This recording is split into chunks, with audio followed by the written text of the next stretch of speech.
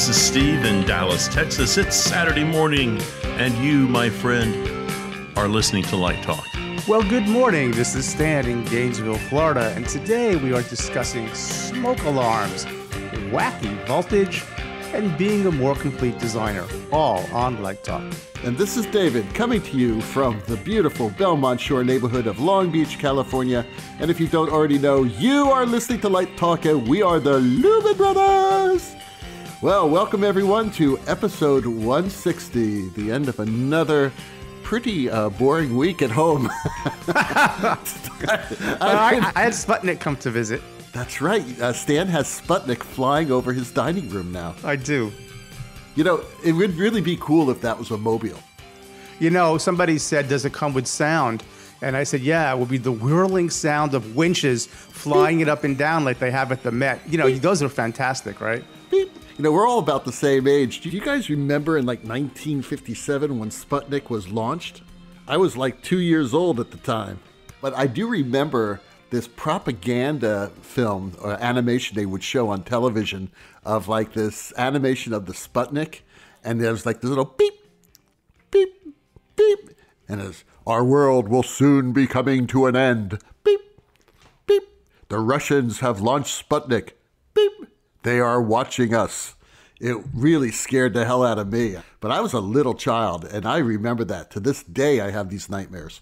Listen, but, I don't think anyone knows what the hell we're talking about. Uh, Stan bought a uh, chandelier that actually looks, sort of looks like Sputnik. I think it's much more 60s sort of homage. It is called the Sputnik chandelier. Ah, if you, if you oh, there yeah. you go. Very interesting.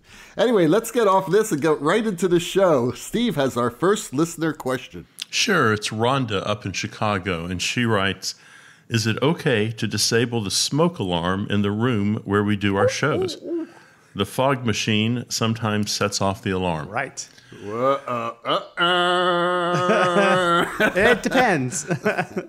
it's an interesting kind of question. She doesn't say theater, she says the room where we do our shows. Yeah. yeah. So this could be a club. Um, I don't know, it could be a garage, it could be a theater, it could be a church. Uh, so I don't quite know where you are. But I, I always think disabling a smoke alarm is, uh, you know, a risky idea.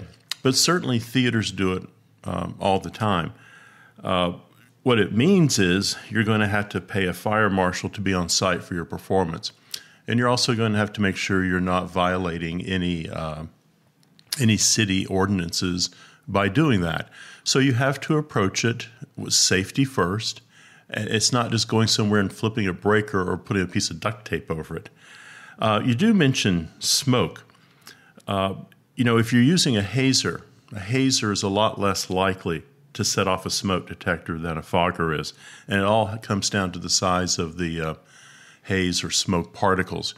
Uh, a, a, fogger uh, is going to have a particle that's larger it's going to be more in kin to what a, uh, a, a, fire smoke is, so that sometimes gets you in trouble. Um, you know, it's been my experience that a water based hazer um, is less likely to set the smoke alarm off than an oil based hazer. If you're using dry ice, dry ice is a whole lot less likely to set off um, your smoke alarm than something floating in the air is. But at the end of the day, uh, you have to be safe. You have to think about your audience. You have to think about your performances. Anything can happen, and that's why those smoke detectors are there. Well, we have a, a situation at the university here where it's pretty strict. Um, our production manager uh, has a form that we fill out. We have to be pretty extensive about what we're using, and we do have these smoke uh, detectors that use a laser. So they, they shine across a, a, volume of space, they hit a reflector, and they bounce back. And that's what triggers them. So when we use any kind of atmosphere, um, we have to call our, you know, whoever they are, the guys who run the HVAC, and they shut it off from a centralized location. We have to give them the dates. And so they, so they know, and the fire department would know if you know, that that's what we're using atmospherics during, during their production. And it's a bit, it's quite a bit of a process. We have to do it in advance uh, because the ours are particularly sensitive because we have a, like Steve says, it depends upon the you know what you're using. It also depends upon the type of detectors. We have a very tall space that has evacuation fans, uh, smoke evacuation fans, which suck the air out because we have a large volume of oxygen. Fire feeds on that, so the detectors we have are really, you know, they will be triggered, and there are lots of them all over the building, so they can put. The, they've already done experiments. We know which ones in the building have to be turned off. And that might be something that Rhonda you might look into. You know, with the ones that are in proximity uh, might be more important to be worried about than the ones that are not, and deal deal with the appropriate people. Um, who handle that. And for us, we have a huge penalty if the fire trucks are called because an alarm goes off and we can't stop them before they get to campus. We have to pay. Like there's a, there's a financial cost to false alarms where we live. Yeah, I don't think it's ever a good idea to disconnect smoke alarms. I uh, I know that we do it all the time, and yes, uh, like Steve says, we have to hire fire people to come. You know, firemen and women, which is not a bad thing because these people look pretty damn good.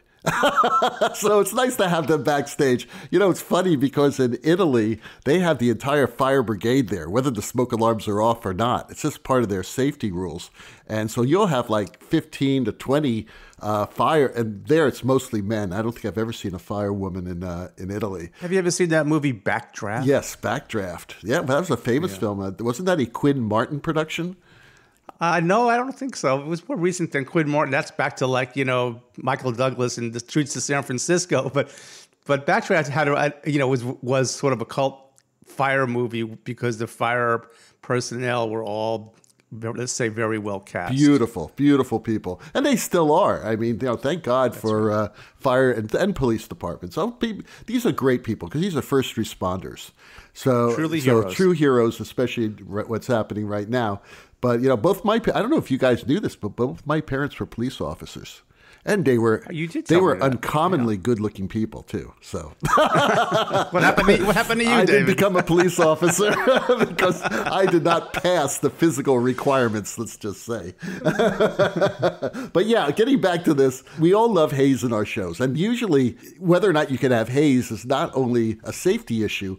But it's well, it's always a safety issue, but it's not necessarily fire, but it also has a lot to do with the lungs.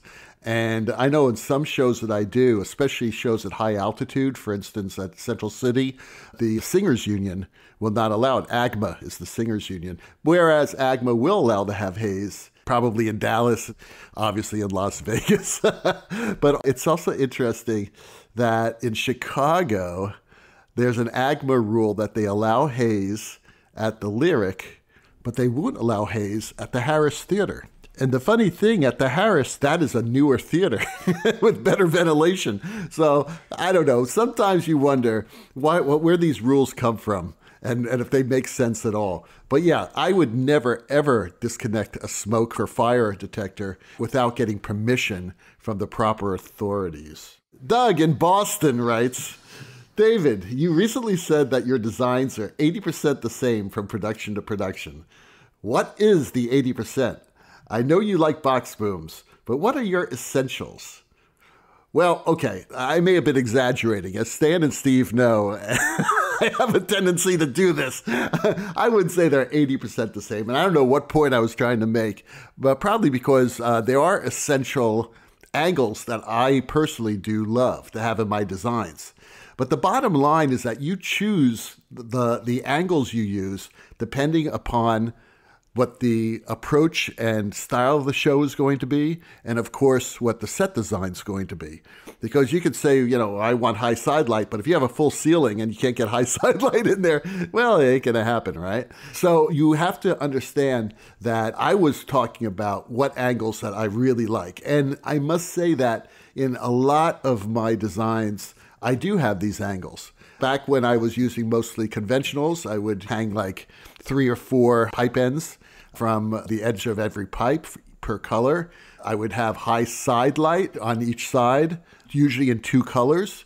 I would have high boom lights, uh, you know, lights that are toward the, the top of the booms that would sweep across the stage, usually in two colors. I would have head highs, usually in two colors, and I would have shin kickers. I would have diagonal backlights. I mean, I mean, I would have all these angles. That's my favorite. You know, and and you know, I'd have diagonal front lights too. I mean, it's sort of like if you have an open stage, if you're lighting dance then it's sort of all those positions I absolutely adore. Two of my favorite positions, obviously, are the pit booms that I would have, um, pit shin lights, which I love as well. Mm-hmm. Uh, yeah. Not for every show, but you know, for a, a, lot, I always have them there just in case, because directors that I work with usually love that angle for certain moments, so they're there, and I do that. I mean, I will place a light there, and we may never use it who cares? It's there. It's a lot easier to have it there when you're hanging the show than it is to add it later. So, all these are very important uh, angles for me. And now that I'm using mostly moving lights, I replace those three lights I had at the end of the pipe as, as pipe ends with one moving light. Uh, usually I would have six lights because three would be one color, three would be the other. Still only one moving light because you can change colors in the moving light. So color changing has added a lot of flexibility and a lot less weight to our pipes. What do you guys think? Kind of agree with most of what you said, but I think I think if I had a if you held the gun to my head and say pick a favorite angle, it'd have to be diagonal backlight or diagonal front light. But it would, you know, box boom side and upstage left, upstage right, shooting downstage. I love that on the angle. Steve? Chocolate. Give me some damn chocolate. The, the hell know, the angle. Give me the chocolate. The, uh, he likes ice cream that's light. Absolutely. That is absolutely right. The, um, you know, I've never thought about it very much, but I do think you're on the mark when you say um, uh, you take those basic ideas from dance and, incorporate that into uh, your show. It's interesting because people have a tendency to think very um, uh, small. Uh, they think I'm doing theater, therefore I'm doing these positions. I'm doing dance, therefore these positions. I'm doing rock and roll. Here come the par cans. it, it, it's interesting that more people don't incorporate uh, elements. It's just light. It's just light, rather than saying, "Oh, I'm doing opera, therefore I must have 500 lights." I'm doing a black box production, therefore I must have 14 lights. It's it's about selecting um, angle and sculpting, and for me, um, I guess the thing that is kind of um, current in my shows um, is things that are not balanced. I'm not terribly interested in my old age of um, symmetry anymore, so I'm going more toward asymmetrical shows. I'm interested right now in shows that are very raw and very kind of ugly, ugly topics, um, topics that m- make you leave the theater maybe um, a little uncomfortable. So I'm, I'm just I'm in a different world than I was 30 years ago. So for me, angle of attack is everything. But if you can do a good dance plot, you can do good angle of attack. Yeah. You have the flexibility. You know, the thing that really I think has held me back is the lack of a Rosco Mixbook. If I had a Mixbook, then I'm telling you there are all kinds of things that I could do. I could take that Mixbook to a new level. I could rent you one. Oh, screw you, Stan. Rent this one. You know, I just want to say something about what Steve said, like about ugly, ugly or angle of attack, and, and just things that are, are raw. You know, I, am kind of like too. I'm sort of get show me something I haven't seen before. You, do use the same lights that we all have or angles that we all have in ways that I've not. I'm, I'm looking for things that I've never done before or haven't seen before. The only thing we didn't mention actually were like footlights. We didn't talk about footlights. I mean, do you guys yeah. use footlights a lot? Sure. Yeah. Love them. Yeah. It depends. It depends. It's interesting you talk about the pit rail uh, when the Winspear opened, they put a pit rail pit in rails. there, and that, yeah. that was life changing. Yep. For listeners who don't know, that's a position, a pipe that runs along the downstage edge of the pit so that you can actually, in, the, in, the pit, in yeah. it's inside the pit, see yeah. if you can get that past the musicians. But a lot of musicians don't even go near it. The pits are deep enough that, you know, the lights are much higher and that gives you a wonderful, wonderful position without having an actual light sitting at the edge of the stage, which right. can be unsightly. Uh, yeah. But it's used all the time too. They used uh, birdies for that, and also now these new LED fixtures, these small well, LED little, fixtures. cute little GLP movers that Steve loves. Or yeah, I mean, there are a lot of different great uh, lights you can use nowadays. But pit positions, pit rails are great. And also, there's always this position that is really needed in the theater. Many theaters have it because they're they're smart, but a lot of theaters don't, and that's called a pit boom. It's like between the plaster line and the first box boom, the nearest box boom, you kind of need another boom there. And it's mm-hmm. usually going to mm-hmm. be where the downstage edge of the orchestra pit is, maybe a foot upstage of that. And that will give you this amazing, great torm like position, torm angle that will blend in with your first torm. And by the way, the first torm is a vertical pipe just upstage of the plaster line. So Yeah, it's like a nice vertical position. boom. That's, That's an really nice- absolutely essential position, especially if you're doing any type of box set uh, to Yeah. get it in. And don't let any, any set designer design a box set where the walls go all the way down to the plaster line.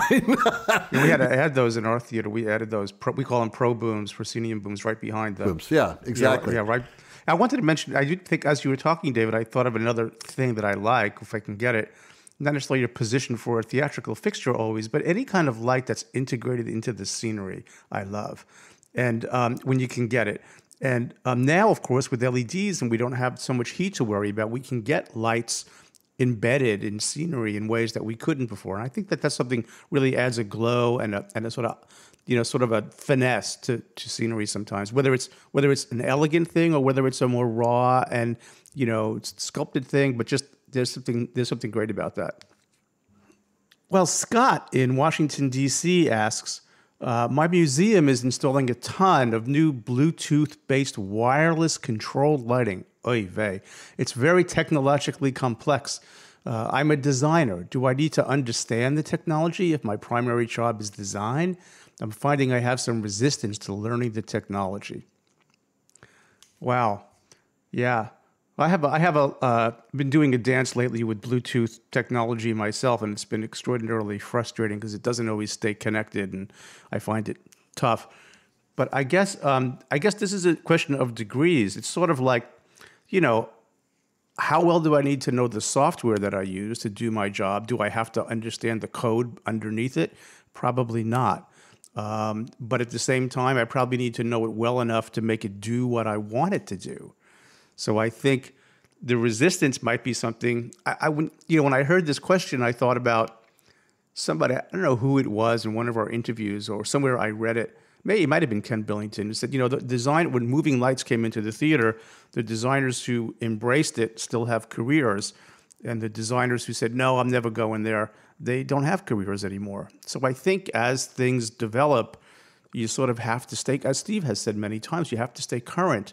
But I don't. But in terms of depth, I think that's a judgment call. How deep do you need to understand the technology enough so that you can do your work as a designer? But if you can't achieve your design goals, then you don't know enough about the technology to use it. Because lighting is technologically based. So that's what I'm thinking. I'm thinking you got to push over that resistance, drill down enough so that you can make use of it, and smile while you're doing it.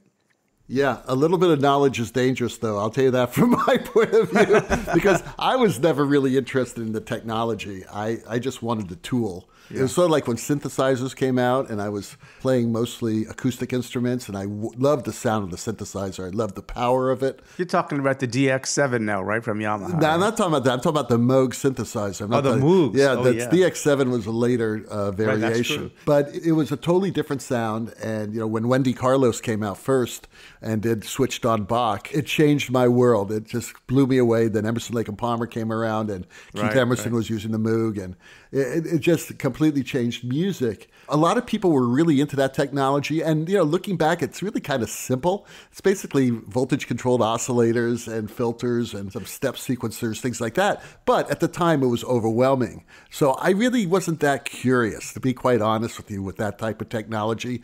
I just wanted to play with it. So I bought one and I played with it. And it's sort of the same with me with, with lights now. Now, I do, yeah, I'm a little more curious now about how lights work because it really is my profession. Uh, and back then I was like 15, 16 years old. I just wanted to hear the damn stuff. I think it's important that you do know the technology, but understand that there are also people around you on your team that know it a lot better than you do.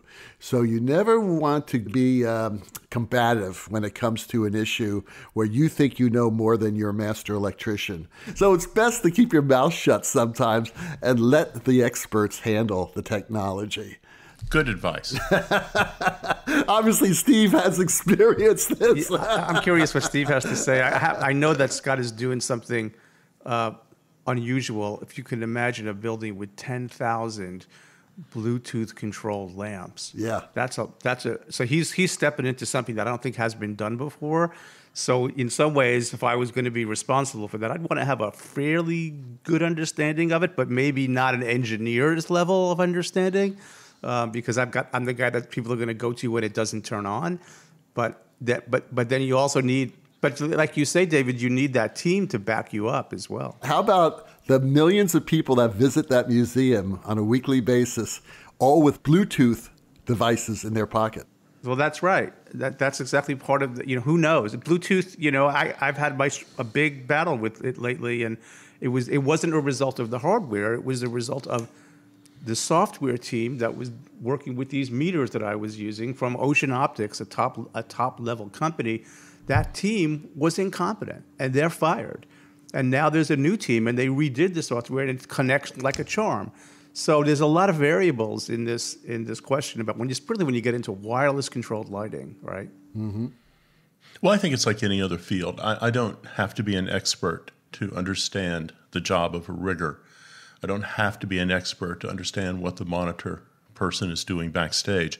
I think um, I look at new technology and I look at how I can use it, and then I look for people who can help me implement my design. So I'm I'm not too worried about the uh, uh, the deep dark secrets of the Grand MA. if I have a, a programmer who who does have a passion for it. Mm-hmm. Uh, so I, you know, I'm I'm not too worried. I I agree with Scott. Uh, you know, I don't want to go too far into the technology. Uh, as a designer, what happens, I think, is if you go f- too far, um, you lose track of the art that you're doing, and it becomes um, a journey into cleverness rather than artistic statement. I hire people who are much more clever than me to make sure my ideas are going to carry through.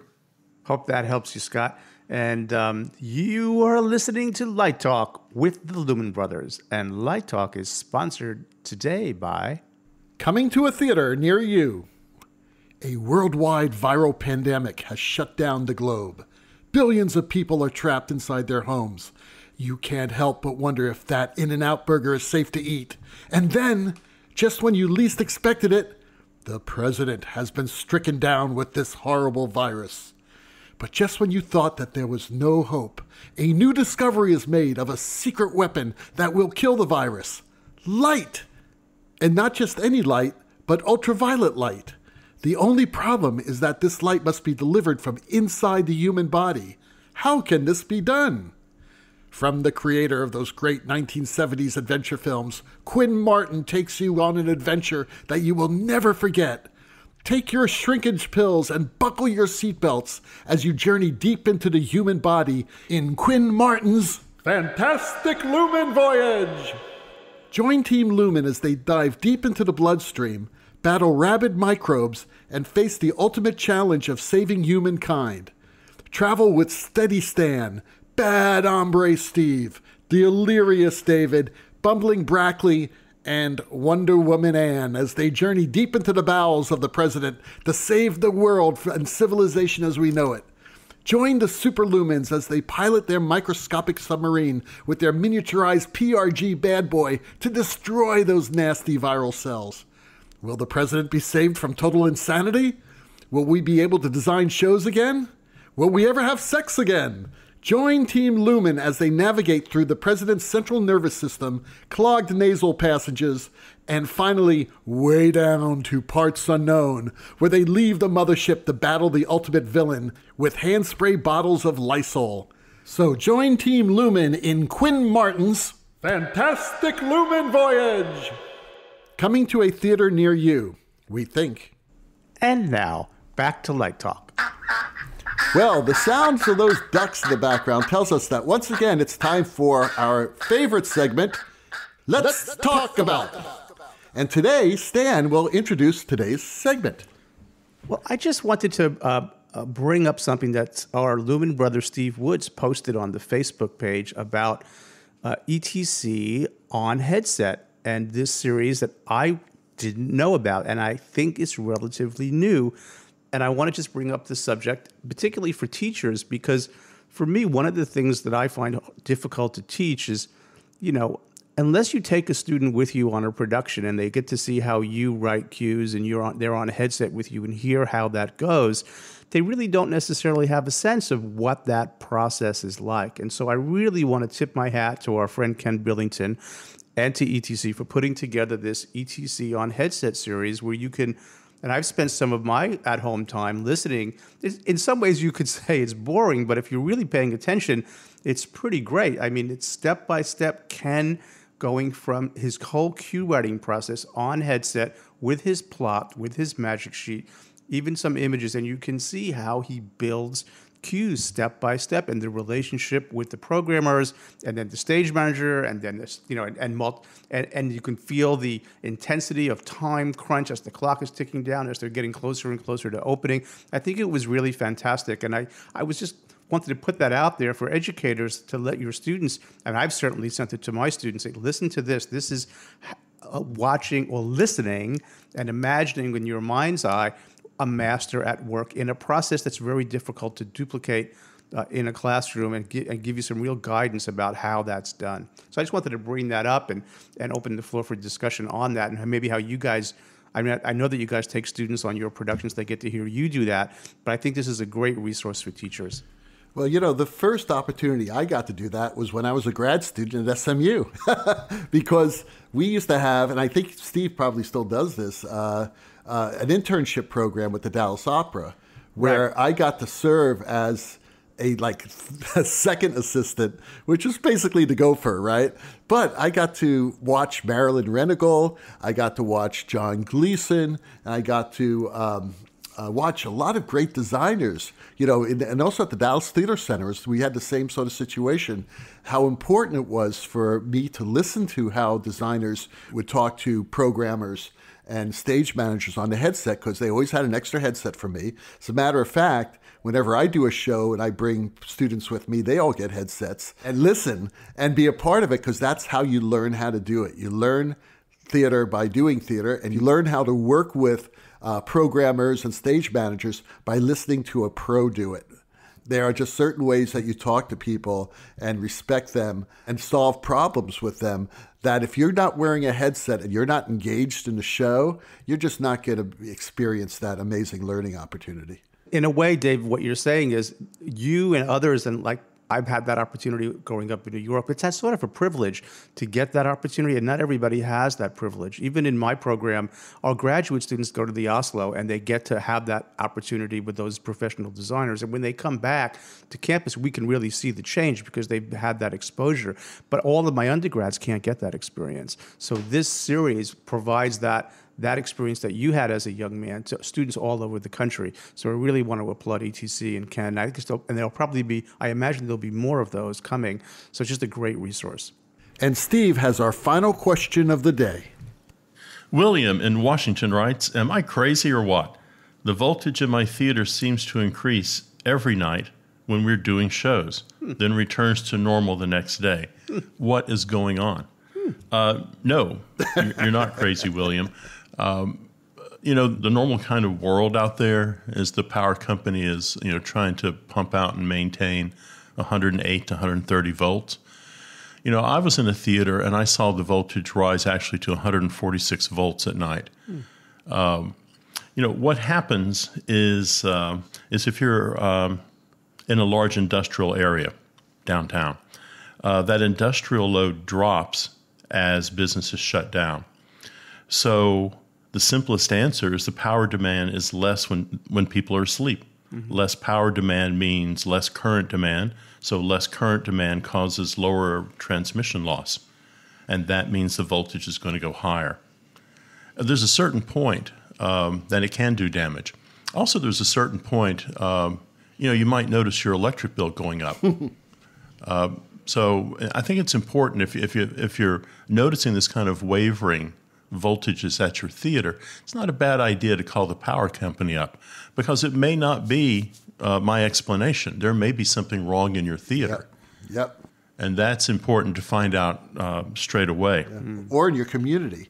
I have that problem in my house. I have these old electromagnetic organs, the Hammond organs, run with these electromagnetic motors, and they spin a they spin a tone wheel. They have actually many tone wheels that have to spin at a very specific rate uh, for for a tone to be uh, produced mm. correctly at a certain pitch.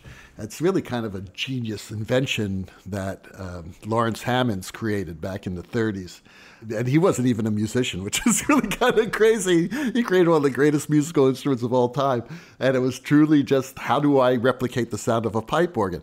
But that organ needs fairly constant voltage for it to work correctly, for it for certain uh, signals to switch uh, different uh, switches in the Leslie speed cabinets and things like that. And there was one time I had five of these organs in my house, and they all worked differently. They all had different problems. And I have a Hammond tech. Believe it or not, there are people out there called Hammond techs.